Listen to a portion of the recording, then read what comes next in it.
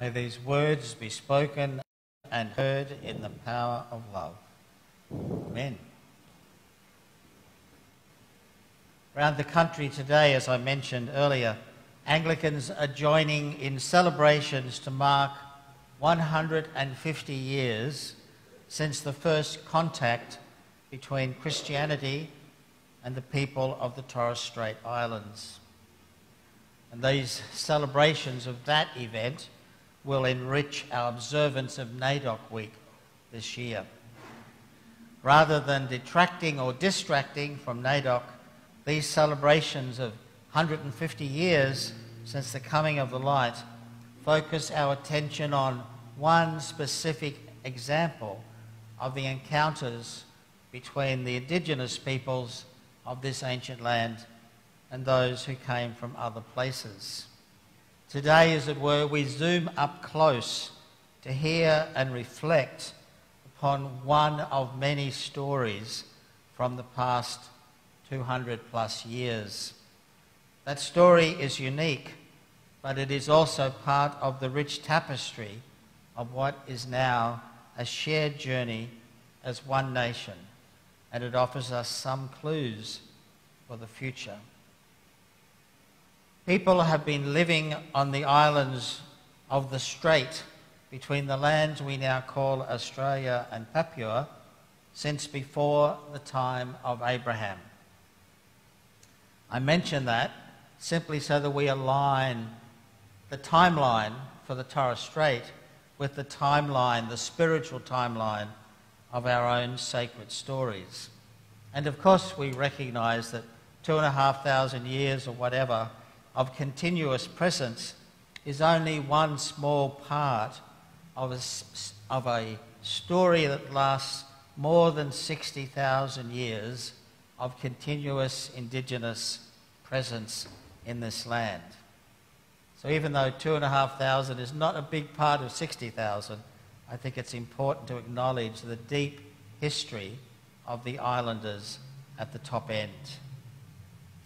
The events we commemorate today, and which are reenacted every year in the islands, occurred late afternoon on Saturday, the 1st of July, 1871.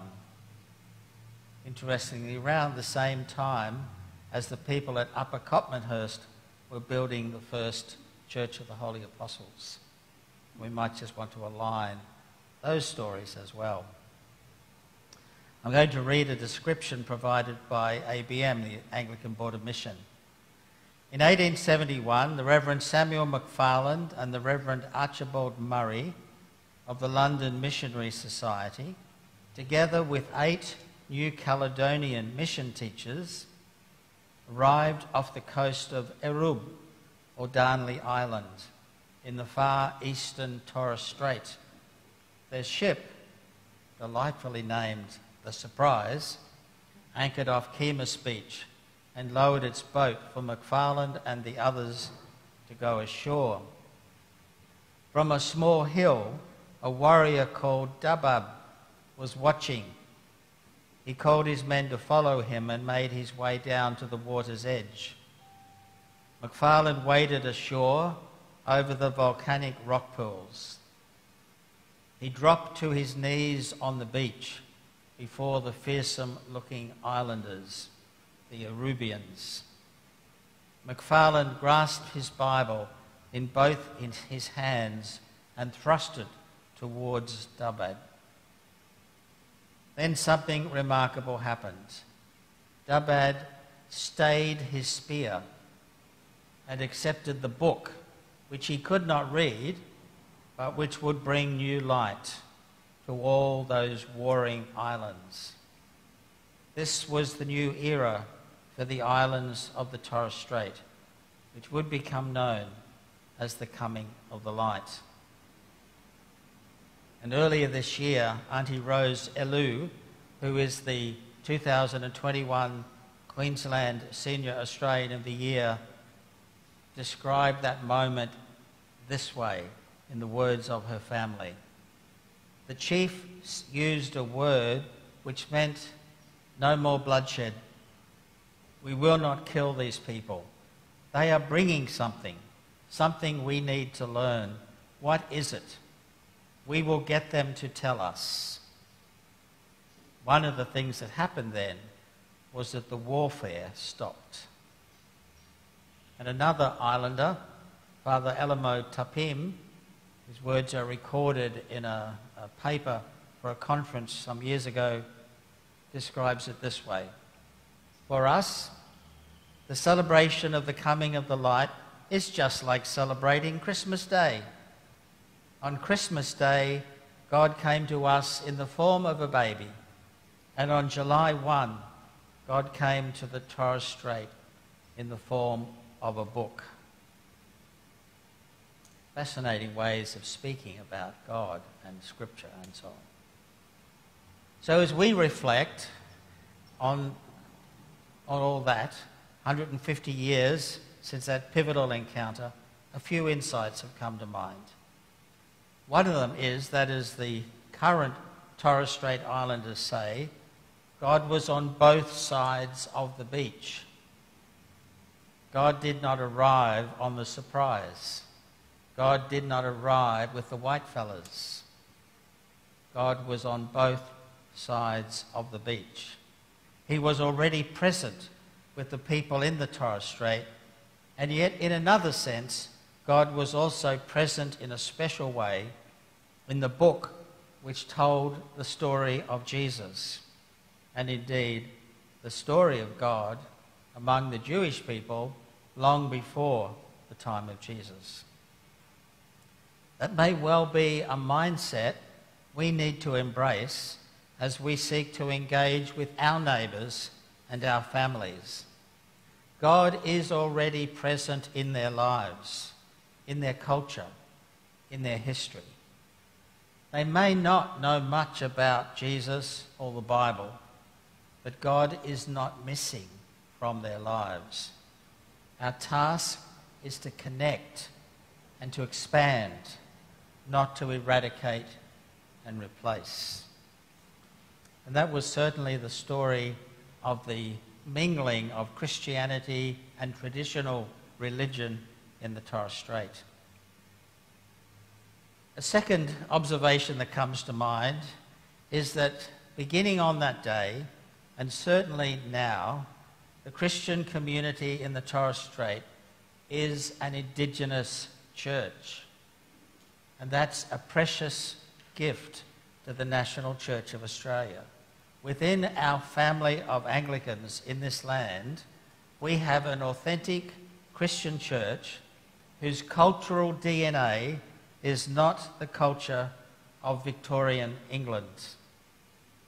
Indeed, most of those who landed on Erub Island that Saturday in 1871 were Melanesian Christians from New Caledonia, who shared, of course, so much of the broader culture and colonial experience of the people with whom they were sharing their faith.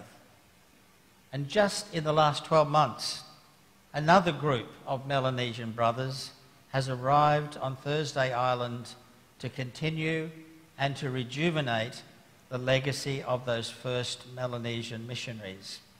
Again, I'm quoting from material on the ABM website. The brothers aim to live the gospel in a direct and simple way, following Christ's example of prayer, mission, and service. They live alongside the people they are serving, respecting their traditions and customs. The brothers follow a daily cycle of prayer and daily Eucharist, and they take vows of poverty, celibacy, and obedience, with many serving between 7 and 20 years. Some take life vows. They not only offer spiritual teaching, but also practical assistance. They plant, harvest, fish, build, eat, and share with everyone in their care.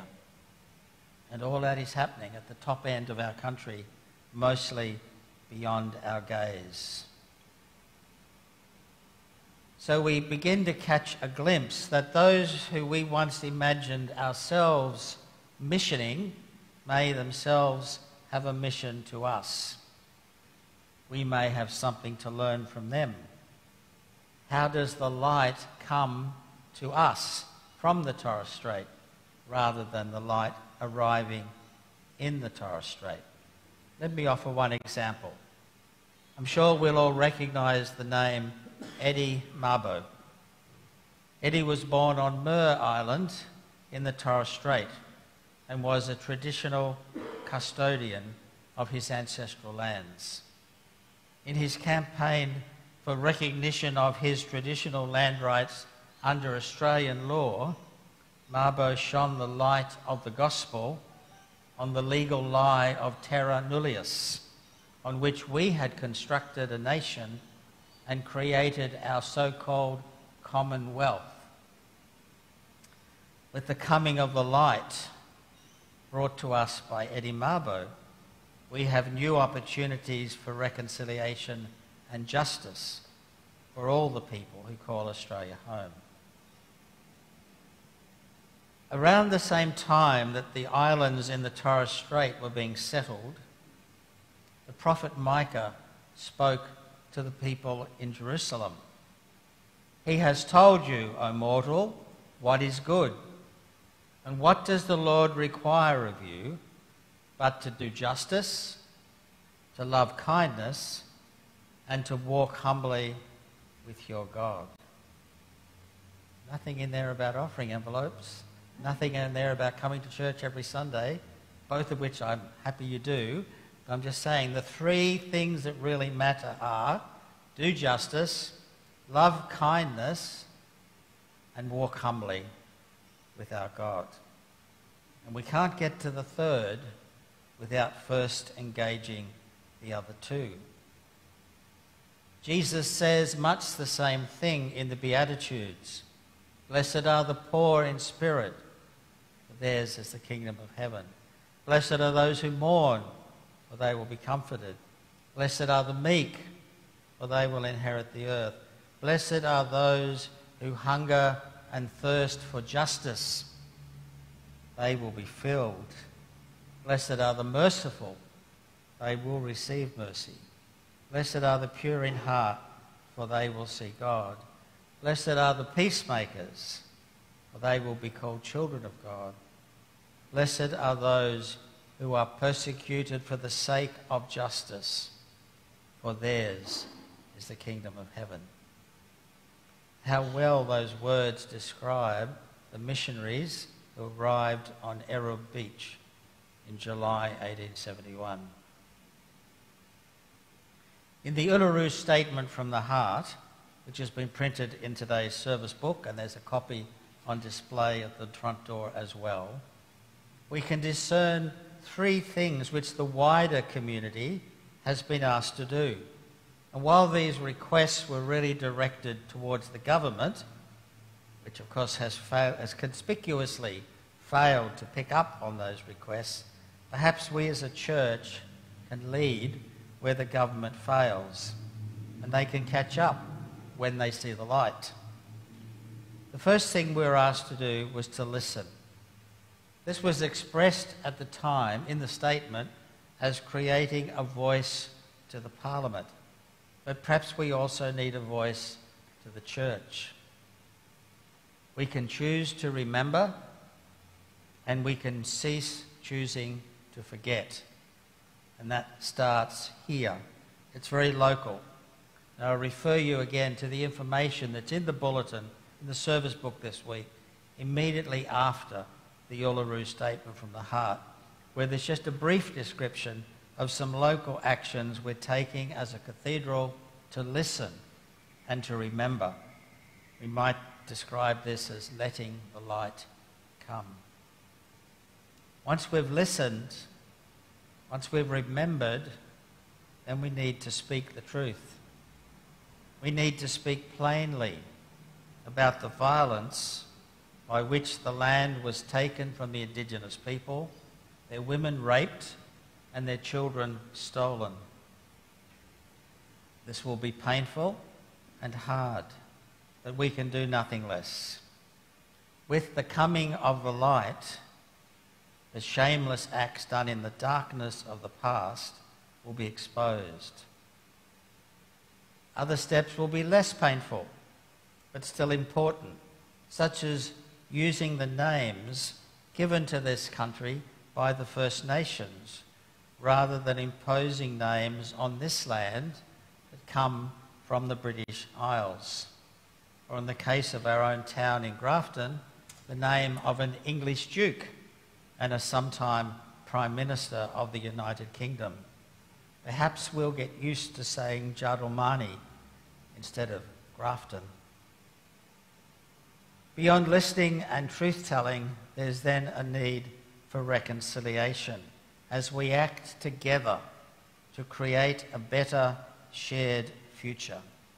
Then we shall indeed find ourselves in a brand new day, as the musical from the 70s, I think it was, reminded us, and as our Reverend Yaegl elder, Lenore Parker, expressed so beautifully at the end of her prayer, which you can find on page 218 in our prayer book. And I'm going to read that prayer as I wrap up this sermon. If Lenore was here, she could recite it without looking at a text, of course. God of holy dreaming, great creator spirit, from the dawn of creation, you have given your children the good things of Mother Earth. You spoke, and the gum tree grew. In the vast desert and dense forest, and in cities at the water's edge, creation sings your praise. Your presence endures as the rock at the heart of our land. When Jesus hung on the tree, you heard the cries of all your people and became one with your wounded ones, the convicts, the hunted, and the dispossessed. The sunrise of your Son coloured the earth anew and bathed it in glorious hope. In Jesus, we have been reconciled to you, to each other, and to your whole creation. Lead us on, Great Spirit, as we gather from the four corners of the earth. Enable us to walk together in trust from the hurt and shame of the past into the full day which has dawned in Jesus Christ. Amen. Amen.